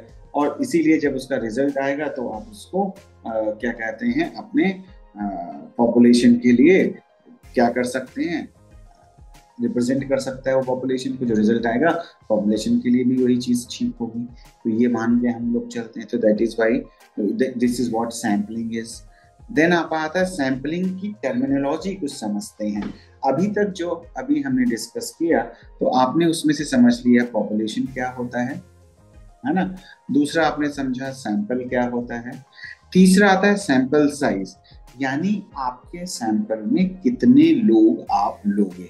ये भी डिसाइड किया जाता है, क्योंकि ये माना जाता है जितना बड़ा सैंपल होगा, उतना अच्छा होगा या जितना बेहतर तरीके से आप सेलेक्ट करेंगे रिप्रेजेंटेटिव सैंपल उतना बेटर होगा। तो सैंपल साइज़ कितना हो? कि हम दस हज़ार में से पाँच लोगों को लें, पचास को लें या पाँच हज़ार लोगों को अपने सैंपल में ले डिसाइड करें। That is what we call sample size then आता है कि सैंपल डिज़ाइन एंड स्ट्रेटेजी अब are use to select units for influences so sample design means कि आप अपने सैंपल को कैसे चूज़ करें, ये जिससे कि ज़्यादा का ज़्यादा से ज़्यादा लोग, आप ज़्यादा से ज़्यादा लोग आपकी पॉपुलेशन को रिप्रेजेंट करें। यानी आपका सैंपल आपके पॉपुलेशन को रिप्रेजेंट करे। एक सैंपल क्या होता है? आप एक कहीं जगह जाते हैं जैसे अभी आपने सुना होगा तो हम्म, क्या कहते हैं अगर हम ये देखें तो हम में से अब जैसे अभी बात कर रहे थे चंद्रयान थ्री की हम बात करते हैं तो जैसे उसमें बोला गया ना वो सैंपल लेके आएगा मून सरफेस के सैंपल्स लेगा। तो सैंपल्स का मतलब क्या होगा कि कुछ एक पार्ट वहाँ से उठाएगा उसको स्टडी करेगा है ना? उसको स्टडी करेगा। उसके बेस पे बोलेगा कि मून की जो सतह है वो कैसी है? जो सरफेस है, वो कैसी है? ये उसको हमें पता तो पूरी की पूरे मून को स्टडी तो नहीं करा उसने उसने एक हिस्सा ले लिया उसी तरीके से हम पूरी की पूरी पॉपुलेशन को स्टडी तो नहीं कर रहे क्योंकि टाइम बहुत ज़्यादा लगेगा, पैसा बहुत ज़्यादा लगेगा, ज़्यादा टाइम ज़्यादा हमें मेहनत करनी पड़ेगी उसमें और रिज़ल्ट ऑलमोस्ट वैसे ही आना है तो फिर हम क्यों उतना मेहनत करें? तो हमने क्या किया? हमने एक सैंपल ले लिया। तो सैंपलिंग डिज़ाइन क्या है? कि कैसे आप सैंपल को अपने वो प्रोसेस सैंपलिंग डिज़ाइन है कि किस प्रोसेस के थ्रू आप अपने सैंपल को सेलेक्ट करते हैं। या आइटम्स को बोलते हैं। एक्चुअली आइटम्स होते हैं कि सैंपल में जो लोग हैं या जो चीज़ें हैं उनको हम आइटम्स बोलते हैं। तो अपने सैंपल में कैसे आइटम आप सेलेक्ट करोगे? कि जिससे वो रिप्रेजेंटेटिव हो तो उसी को हम सैंपलिंग डिज़ाइन या स्ट्रेटेजी बोलते हैं। वो हम डिस्कस भी करेंगे। देन आता है sampling unit refers the individual case तो सैंपल में जैसे 10 लोग हैं तो there are will say that is like 10 units 10 लोग का मतलब हो गया 10 यूनिट्स तो सैंपलिंग फ्रेम क्या है? Comprehensive list of people from which the sample is taken such as postal register और टेली टेलीफोन बुक तो सपोज़ आपको दिल्ली के लोग लेने हैं, आपको ये पता करना है कि कहाँ से आए लोग, है ना? कैसे हमें लिस्ट मिले, कैसे हम इनको सेलेक्ट करें? तो आपने टेलीफोन डायरेक्टरी निकाल ली, या हाउस के एड्रेसेस पूरे हाउस नंबर्स निकाल लिए उस पर्टिकुलर एरिया एरिया के या आपने उनके पैन नंबर्स निकाल लिए कि पैन नंबर से कि किस एरिया का कौन सा है, मैं उसमें से ये सिलेक्ट करूँगा। तो अब वो उसको हम सैम्पलिंग फ्रेम बोलते हैं, जहाँ से आप कोई भी डेटा सेलेक्ट करते हैं, जो लिस्ट ऑफ़ डेटा है, उसको हम सैम्पलिंग फ्रेम बोलते हैं। अब अगेन आई थिंक बता दिया है बट अगेन मैं इसको एक बार रीड करते पर्पस ऑफ़ सैम्पलिंग क्या है तो जैसे मैंने पहले भी बोला purpose of the sampling A sample aims to obtain desired population information at minimum cost or reliability. While selecting a sample ensures precision and avoid biases, which can occur through a non-random selections, inaccurate coverage, or unwilling cooperation. तो sampling का purpose ये है कि कैसे कम से कम cost and time में है ना? कॉस्ट एंड टाइम में हम मिनिमम कॉस्ट में एक्चुअली कि पॉपुलेशन के बारे में जो हम रिसर्च करना चाहते हैं जो हम uh, uh, क्या कहते हैं जो रिसर्च करके हम देखना चाहते हैं कोई रिज़ल्ट तो वो कैसे कम से कम cost with reliability and minimum time में हम उसको कर सकें। वो हमारा ऐसा ना हो कि वो बायस्ड हो जाए ठीक है? अब बायस वर्ड आपने बहुत सुना होगा लेकिन बायसनेस का मतलब क्या होता है मैं आपको बताता हूँ। बायसनेस का मतलब रिसर्च में क्या हो सकता है कि सपोज़ मैं या आप में से कोई लेट्स से एक एक्स वाई जी पर्सन है मान लिया आ, मैं अपने को लेता हूँ जैसे अतुल वर्मा मेरा नाम है तो अब मुझे रिसर्च करना है कि मैं नोएडा में रहता हूँ और मुझे रिसर्च करना है कि मेंटल हेल्थ को लेके लोगों का एटीट्यूड कैसा है। तो मैं लोगों के एटीट्यूड को मेजर करने के लिए एक टेस्ट करूँगा उनके ऊपर। अब उस, वो टेस्ट में किसके ऊपर करूँगा? वो उसी को हम सैंपल बोलते हैं। अब मुझे सैंपल सेलेक्ट करना है। अब वो सैंपल सेलेक्ट करने का प्रोसेस क्या है? एक उसका एक प्रॉपर प्रोसेस होता है जो हम अभी बात करेंगे यहाँ पे बात करने जा रहे हैं। लेकिन उसी के साथ साथ क्या होता है कि, कि अगर हम सही तरीके से सैंपल गलत नहीं चूज़ करेंगे तो हमारे रिजल्ट्स पॉपुलेशन के लिए कि हम ये कह दें कि हम मैं जिनको जान सपोज़ जिनको मैं जानता हूँ है ना?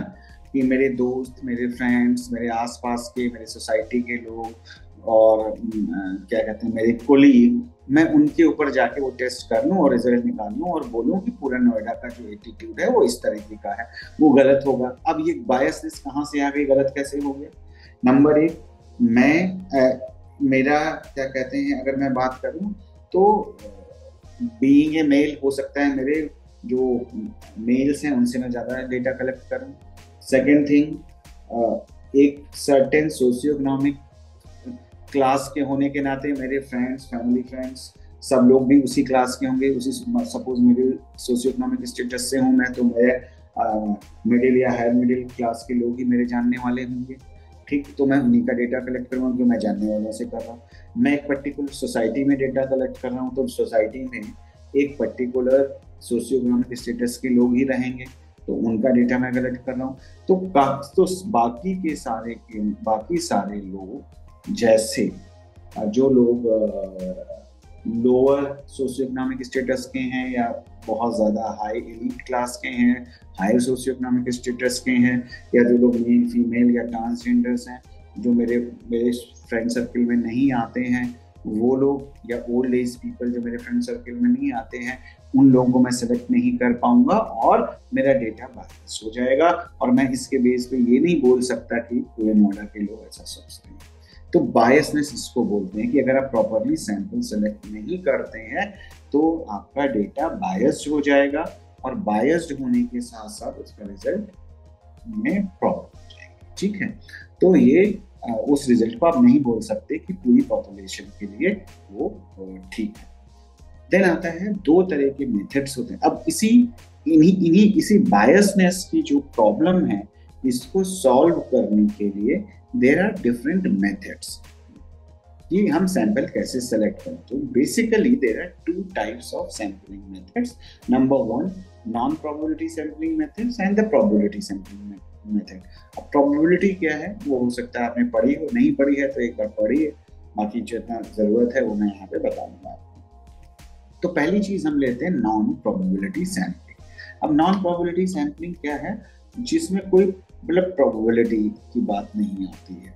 प्रोबेबिलिटी सैंपलिंग की बात होती है, जिसको प्रोबेबिलिटी सैंपलिंग बोलते हैं, वो क्या होता है कि उस सैंपलिंग में सारे के सारे जितने भी पॉपुलेशन में लोग हैं, उनके पास इक्वल अपॉर्चुनिटी है to be selected in a sample तो अब एग्ज़ाम्पल लेते हैं और क्या होता है प्रोबेबिलिटी एंड नॉन प्रोबेबिलिटी यहीं पे बताता हूँ मैं आपको। ये हमारी पॉपुलेशन है। है ना? ये पॉपुलेशन है।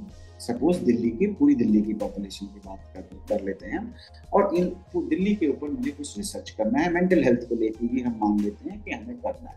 तो अब मेंटल हेल्थ को लेके हमने हमने करना है और हमने क्या किया? एक तो मेथड उठाया ऐसा कि जैसे मैंने अभी बताया कि मैं पर्टिकुलर सोसाइटी में particular socio economic status particular gender का जेंडर का पर्सन हूँ तो उसी तरह का डेटा मैं, मेरे आसपास मिलेगा मुझे। तो वो बायस हो जाएगा। इसको हम बोलते हैं नॉन प्रोबेबिलिटी सैंपलिंग कि इसमें सबके पास इक्वल चांस नहीं। मैं इस एरिया में रहता हूँ दिल्ली के तो मेरे सारा सैंपल मैंने यहीं से इकट्ठा कर लिया। इसको हम नॉन प्रोबेबिलिटी प्रोबेबिलिटी का क्योंकि इसमें ये जितने लोग हैं, इनके पास इक्वल चांस नहीं है to be selected in the sample केवल इन लोगों के पास चांस है, और वो भी ज़्यादा चांस है to be selected in this sample तो ये हो गया non probability sampling probability sampling में क्या होगा कि ये पॉपुलेशन है और इन सबको बराबर इक्वल चांस है क्या कहते हैं सैंपल में जाने का। अब मान लिया कि यहाँ पे एक लाख लोग हैं इस पॉपुलेशन में वन लैख तो हमने क्या किया? एक लाख लोगों के नाम की एक पर्ची बनाई, उसमें एक जार में डाली, हिलाया और उसमें से सौ लोगों को मुझे लेना है, सौ की पर्ची निकाल दी। तो अब हमारे हाथ में नहीं है। यहाँ पे सब हमारे हाथ में था इस वाले एरिया में, है ना? लेकिन अब यहाँ पे हमारे हाथ में सबके पास बराबर चांस है, किसका नंबर आएगा, किसकी लॉटरी लगेगी we don't know that is that is a kind of probability method है ना? तो ये डिफरेंस हो गया। अब ये सारे के सारे लोगों को डाल दिया। अब कोई यहाँ से भी सिलेक्ट हो सकता है कोई यहाँ से भी हो सकता है कोई यहाँ से हो सकता है कोई यहाँ से हो सकता है कोई यहाँ से हो सकता है कोई यहाँ कोई ज़रूरी तो सारे के सारे एक जगह से नहीं तो इसको हम प्रोबेबिलिटी सैम्पलिंग बोल, बोलते हैं जिससे कि अगर सारे लोग इसके अंदर हैं तो कल को हम ये बोल सकते हैं कि हमारे रिज़ल्ट में आया कि दिल्ली के लोग मेंटल हेल्थ को लेके बहुत ही कंसर्न या पॉजिटिव हैं तो हम कह सकते हैं कि वो सभी के लिए है। अगर हमने प्रॉपर सैम्पलिंग की है। अगर हमने प्रॉपर सैम्पलिंग नहीं की है तो हमारे रिजल्ट्स एप्लीकेबल नहीं होंगे बाकी की पॉपुलेशन के ऊपर। ठीक है? तो नॉन प्रोबेबिलिटी सैम्पलिंग क्या होता है? नॉन प्रोबेबिलिटी सैम्पलिंग बताया मैंने आपको but I am reading it again so that you can understand कि probability sampling method do not assess the probability of a population element being included in a sample as they do not use random sampling techniques important techniques for non probability sam, uh, sampling methods तो कौन कौन सी method है उनके बारे में तो इनके इनमें सभी आइटम्स के पास में जो पॉपुलेशन के जो आइटम्स हैं जो जिनको हम सेलेक्ट करते हैं उनके पास इक्वल चांस नहीं होता है शामिल होने का सैंपल। में बट वहीं रैंडम सैंपलिंग में सबके पास इक्वल चांस होता है आ, क्या कहते हैं आपके जो सैंपल है उसमें शामिल होने का। तो अब हम ये देखेंगे कि नॉन प्रोबेबिलिटी सैंपलिंग के टाइप्स क्या होते हैं क्योंकि इनके सबके अपने अपने फ़ायदे और नुकसान हैं है ना? तो अब हम ये देखते हैं कि क्या टाइप्स हैं। तो एक तो आ गया पहला जो है हैब्जर्ड एक्सीडेंटल और कन्वीनियंस सैंपल यानी अपनी मर्ज़ी से हैब्जर्ड तरीके से किसी चीज़ का ध्यान न रखते हुए जो मिल रहा है, आप सैंपल में इंक्लूड कर रहे हैं, जैसा मैंने अपने, अपना एग्जांपल लेते हुए आपको बताया था। तो अब haphazard sampling a method of selecting cases for convenience can lead to ineffective, unrepresentative sample, resulting in systematic errors and potentially misrepresenting the population. तो अब वो पॉपुलेशन को प्रॉपरली रिप्रेजेंट नहीं कर रहे हैं इनइफेक्टिव सैम्पलिंग है डेटा का रिज़ल्ट जो आएगा उसको आप पॉपुलेशन के लिए जनरलाइज नहीं कर सकते हैं तो उसी को हम एक्सीडेंटल हैप्चर या कन्वीनियंस सैंपल अपनी मर्ज़ी के हिसाब से हमने कर लिया। तो एक तो नॉन प्रोबेबिलिटी सैंपलिंग ये हो गया आपका। देन दूसरी चीज़ आपकी आती है कोटा सैंपलिंग कोटा सैंपलिंग थोड़ा सा बेटर हो जाती है। क्या हो जाती है? तो quota sampling enhances diversity in research by selecting specific categories but can lead to bias and less accurate than convenience sampling bias ये भी हो सकती है, लेकिन लेस एक्यूरेट हो सकती है बट जो हैजर्ड वाली जो टेक्निक्स हैं, वो उससे उससे बेहतर है। कन्वीनियंस के बेस पे जो हम सैम्पलिंग करते हैं, अब कोटा आपने सुना होगा, आजकल गवर्नमेंट में भी बहुत सारी बात आप देखते हैं कि हम, मुझे इतना कोटा चाहिए या क्या कहते हैं रिजर्वेशन काइंड ऑफ़ थिंग तो यहाँ पे कोटा का मतलब है कोटा सैम्पलिंग का मतलब सिर्फ़ इतना है कि हम पूरी पॉपुलेशन को डिवाइड कर लेते हैं कैटेगरीज में। Again I am taking the same example of Delhi population ये आपकी दिल्ली की पॉपुलेशन है, ठीक?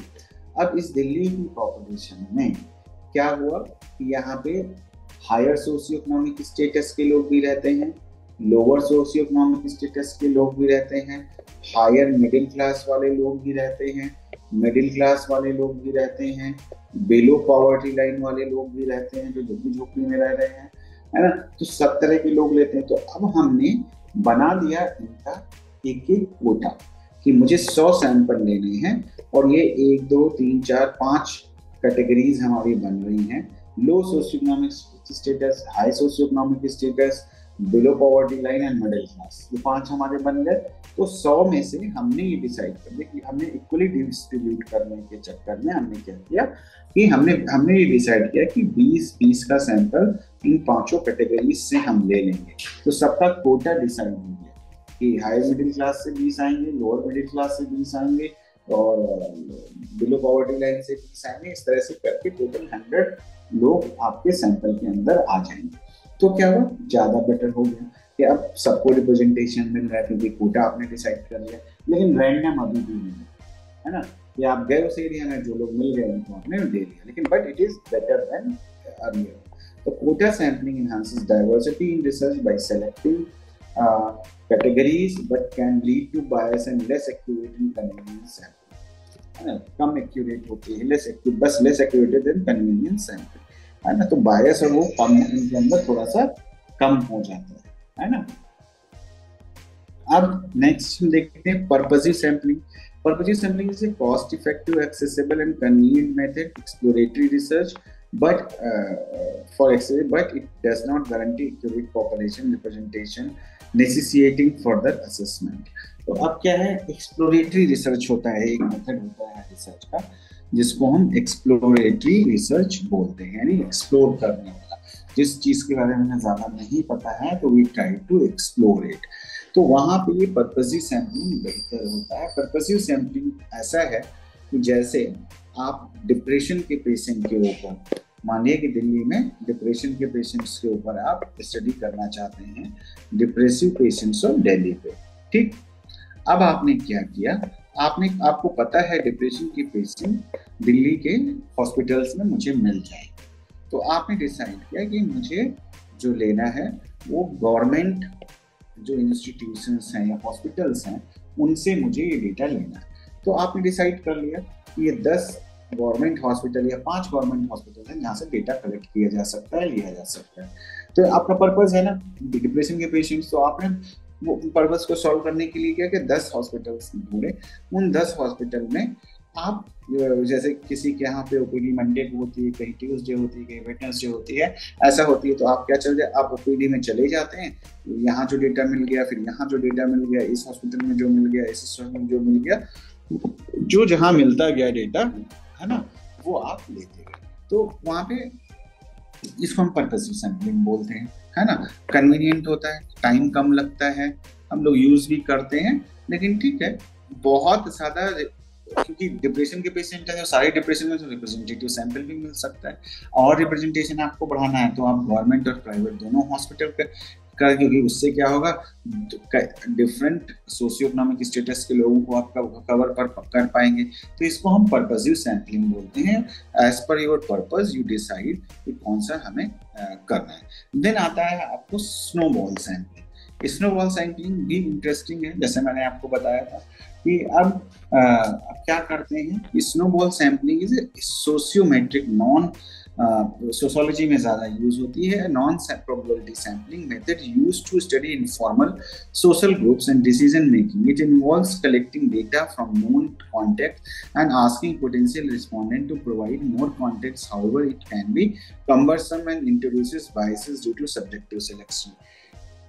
अब इसको ऐसे समझते हैं कि आपको डिप्रेशन के ऊपर क्या कहते हैं एक आ, करना है रिसर्च तो आप एक डिप्रेशन के पेशेंट्स को आपने, आपका कोई जानने वाला डॉक्टर है, उसने बोल दिया कि भाई, एक पर्सन है जिसको मैं जानता हूँ, जिसको डिप्रेशन है तो आपने उस पेशेंट से बात कर ली, उसका इंटरव्यू कर लिया, या टेस्ट जो करना था, आपने वो टेस्ट कर लिया, ठीक?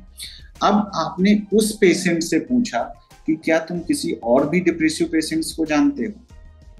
तो उसने बताया हाँ मैं जानता हूँ, मैं ट्रीटमेंट के लिए जाता था, वहाँ दो लोग और आते थे, उनका, उनसे मैं बात भी करता हूँ, उनका नंबर मेरे पास में तो वो आपको उनको दे देता है, ठीक है? अब उनके आपने इंटरव्यू लिया, उनसे फिर आपने पूछा कि क्या आप किस, किन्हीं और लोगों को जानते हो, जिनसे आप जिनसे मैं डेटा कलेक्ट कर सकता हूँ या कर सकती हूँ? तो क्या होगा? उसने किसी और का एड्रेस दे दिया। तो इसी को हम बोलते हैं स्नो बॉल सैम्पलिंग क्या होता है? Snowball sampling is a sociometric non probability sampling method used to study informal social group.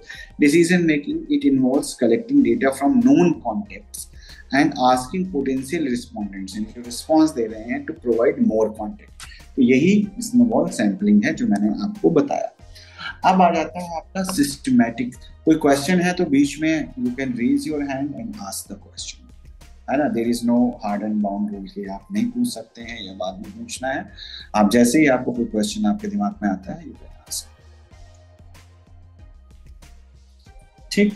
तो सिस्टमैटिक सैंपलिंग थोड़ा सा और बेटर हो जाती है। Systematic sampling is non probability sampling plan to involve selecting every ninth person from a uh, predetermined list, ignoring all person between every ninth element chosen. Although it is a quick and easy to use, it also it does not follow the probability sampling principle and may cause sampling error. अब इसमें क्या हो गया आप गए government hospital में आपके पास और आपने उनसे लिस्ट मांगी कि आपके यहाँ कितने पेशेंट आते हैं रेगुलरली तो उन्होंने आपको हज़ार पेशेंट्स की लिस्ट दे दी। ठीक है पाँच, किसी ने पाँच सौ की दी, किसी ने थाउज़ेंड की दी, जो भी दिया। तो आप, या आप गवर्नमेंट डेटा भी रिलीज़ करती है time to time statistic department of जो मिनिस्ट्री है, वो डेटा भी रिलीज़ करती है हर चीज़ का। तो आपके पास डेटा आ गया। ये डेटा आ गया तो आपने आपको पता लगा कि पूरे दिल्ली के अंदर जो है एक लाख लोग हैं जो डिप्रेशन के मरीज़ हैं। ठीक? तो अब इन एक लाख लोगों का डेटा आपको चाहिए आप गए आपने लिस्ट निकाल ली गवर्नमेंट से रिक्वेस्ट करके या हॉस्पिटल से रिक्वेस्ट करके, अब इनमें से एक हज़ार लोगों पे आपको वो करना है असेसमेंट करना है इनका तो क्योंकि आपका रिसर्च प्रोजेक्ट ये मांग, क्योंकि ये मांग है। तो आपने क्या किया? इन एक हज़ार लोगों की लिस्ट बनाई। इसमें से आपने डिसाइड करी कि हर पाँचवें व्यक्ति को मैं पर्सन को मैं इसमें अपने डेटा में सेलेक्ट करूँगी। तो आपने क्या किया? आपने क्या किया कि हर पांचवा इंसान इसमें से आपने लेना शुरू कर दिया, ठीक है? तो पांचवा लिया, फिर दसवा लिया, फिर पंद्रहवा लिया, फिर बीस then twenty fifth thirty thirty five इस तरह से आपने ले लिया depending on your sample suppose ज़्यादा का लेना है, कम का लेना है तो उसके अकॉर्डिंग आपने नंबर चूज़ किया और आपने हर तो एक टाइम एक इंटरवल के बाद, जैसे fifth six fifth tenth fifteen twenty इस तरह से आपने सेलेक्ट कर लिया। इसको क्योंकि आपने सिस्टमेटिकली किया, आपके पास एक डेटा आया तो ये थोड़ा सा और बेटर हो गई। इसी को हम सिस्टमेटिक सैम्पलिंग बोलते हैं। ये भी नॉन प्रोबेबिलिटी में आते हैं कुछ इसमें ये रिपीट हो रहा है। देन आप तो ये था आपका नॉन प्रोबेबिलिटी सैम्पलिंग अब आता है आपका प्रोबेबिलिटी सैम्पलिंग या रैंडम सैम्पलिंग हम, आप जिसको बोलते हैं, वो इसी के अंदर आती है। तो probability sampling method specify the likelihood of each element of the individual in a sample ensuring bias free selection estimation of sampling error and precision accuracy and efficiency तो ये बहुत ही साइंटिफिक मेथड होता है। रैंडम सैंपलिंग के through इसमें use करते हैं। और इसमें हर एक पर्सन को आइटम को इक्वल चांस होता है to be selected in the sample अब इसका एग्जांपल लेते हैं। सेम चीज़। उसमें एवरी एंथ एवरी आइटम वो आपने मान लिया दिल्ली के अंदर। जैसे मैंने बोला एग्ज़ाम्पल दे चुका हूँ मैं पहले आपको, दिल्ली के अंदर। आप मान लिया एक लाख लोग रह रहे हैं, जिन पे आप रिसर्च करना चाहते हैं। इन एक लाख लोगों के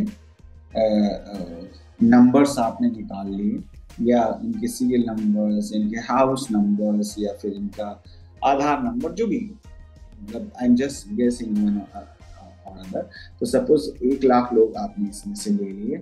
अब इन एक लाख लोगों में से आपको सौ लोग सेलेक्ट करने हैं या हज़ार लोग सेलेक्ट करने हैं तो आप क्या करोगे?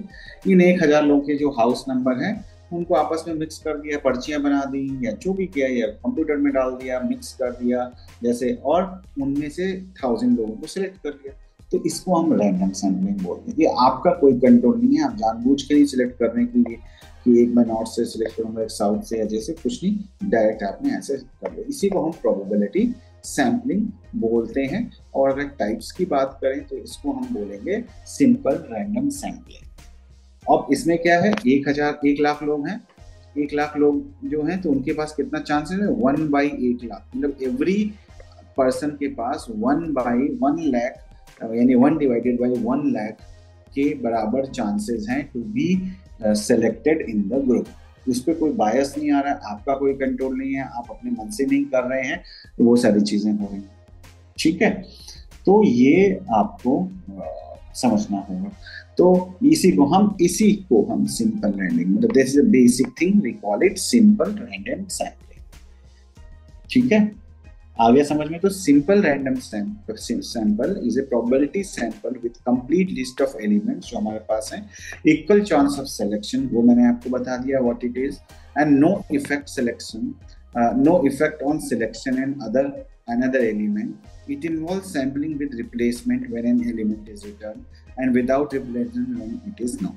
यानी कि अगर कोई uh, क्या कहते हैं आपने सौ लोगों को सिलेक्ट किया इसमें से एक पर्सन इसमें से बोल रहा है, मैं नहीं करूँगा आपका रिसर्च तो आप इसको वापस उसमें डाल देंगे पॉपुलेशन से दूसरा आइटम सेलेक्ट कर सकते हैं। तो उसी को हम बोलते हैं कि when an element is return तो एक होता है विदाउट रिप्लेसमेंट एक होता है विद रिप्लेसमेंट यानी एक टाइप होता है जहाँ पे आप रिप्लेस कर सकते हैं, एक टाइप एक टाइप है जहाँ पे आप रिप्लेस नहीं कर सकते तो ये दो तरीके तो सिंपल रैंडम सैम्पलिंग इसे तो एडवांटेजेस क्या होते हैं सिंपल रैंडम सैम्पलिंग के? लेट्स सी कि simple random sampling is equitable cost effective है सिंपल है है ना? और रिप्रेजेंटेटिव है, और छोटी पॉपुलेशन के लिए ठीक है। पता चला, सौ करोड़ की पॉपुलेशन है 140 करोड़ जैसे हमारा इंडिया का पॉपुलेशन है।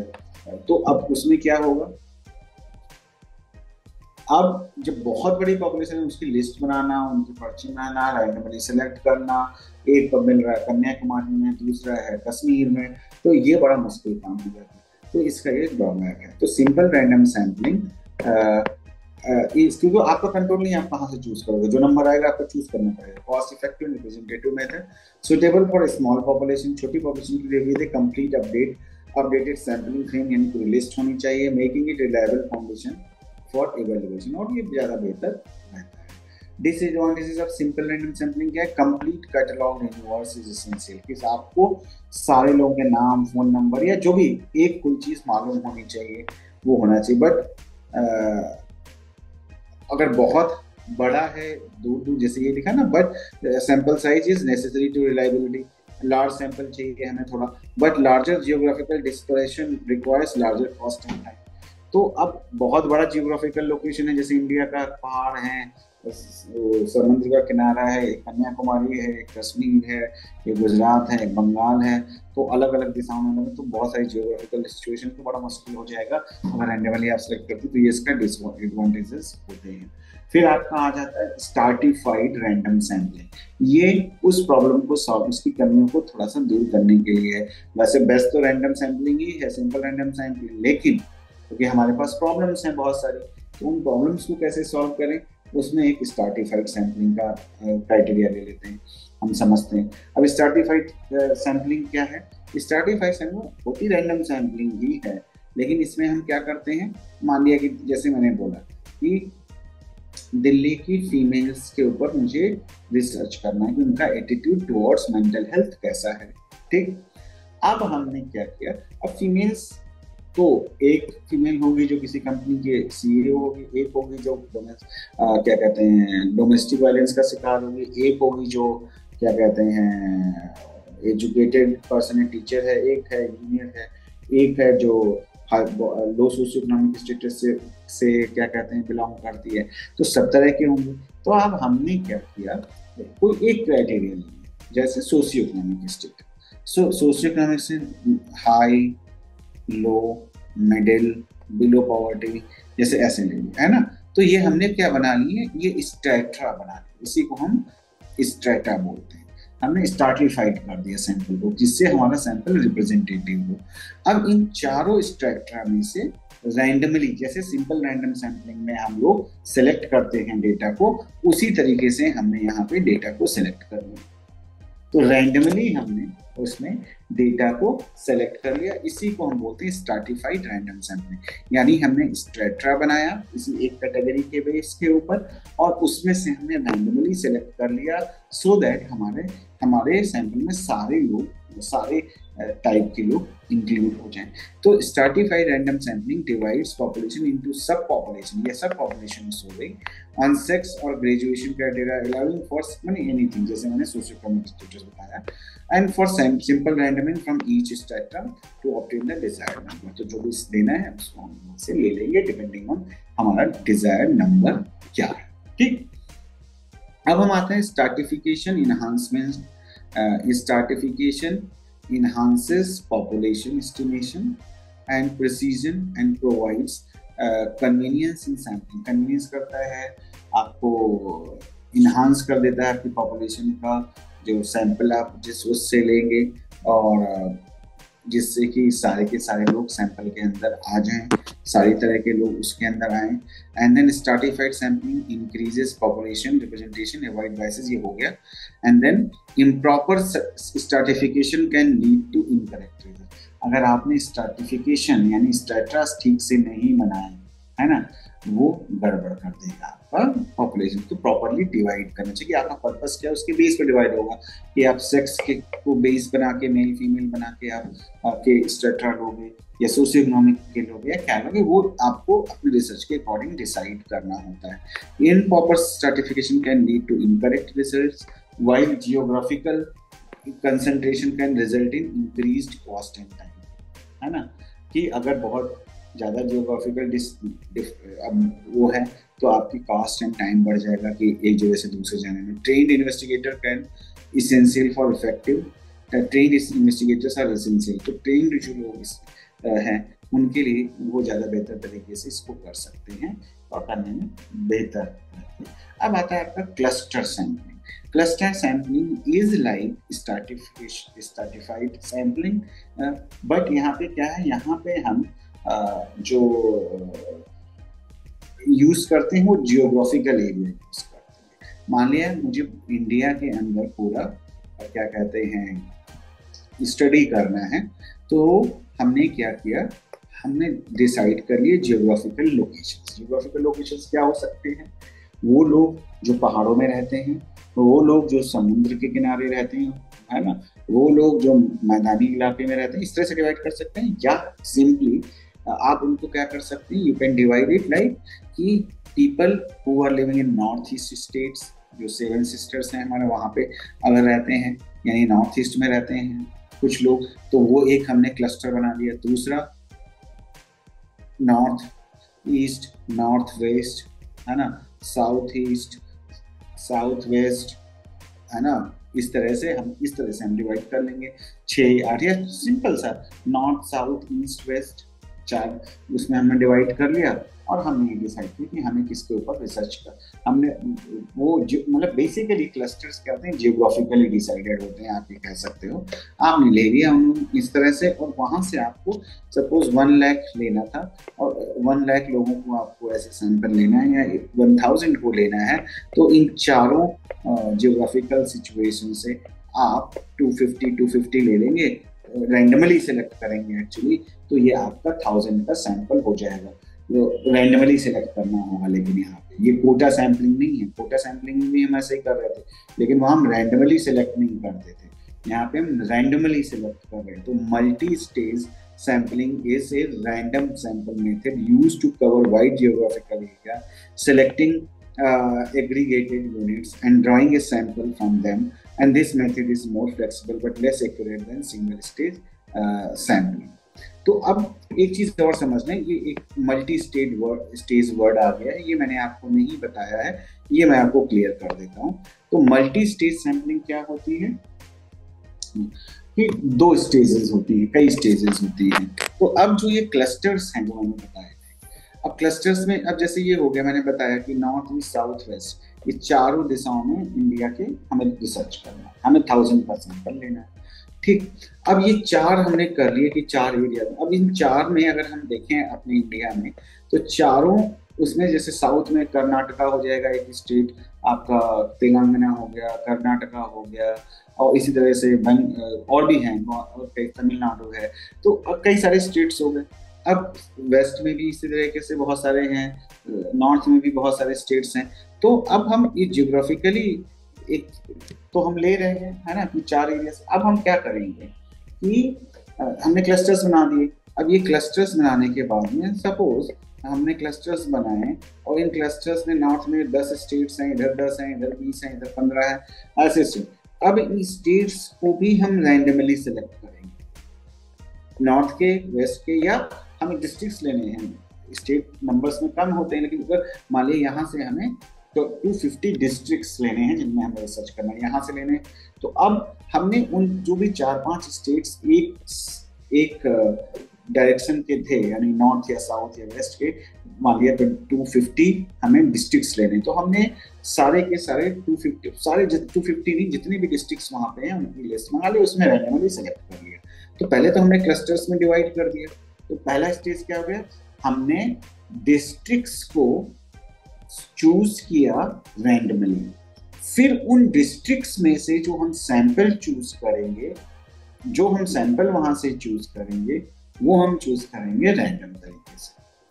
तो दो स्टेज हमने डिस्ट्रिक्ट्स जो चूज़ किए सैंपल में रैंडमली सिलेक्ट किए, और उन डिस्ट्रिक्ट्स में से जो सैंपल चूज़ किए, वो भी हमने रैंडमली सिलेक्ट किए. तो ये दो स्टेज में हुआ तो इसी को हम मल्टी स्टेज बोलते हैं। क्लियर है? किसी का कोई क्वेश्चन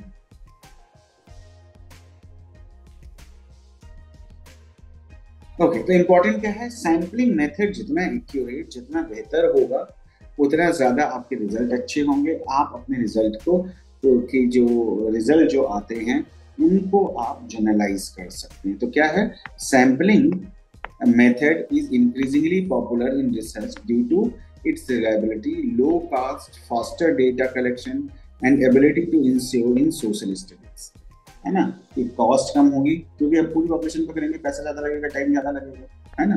तो ये चीज़ हमें ध्यान हेल्प करती है सैम्पलिंग इसका।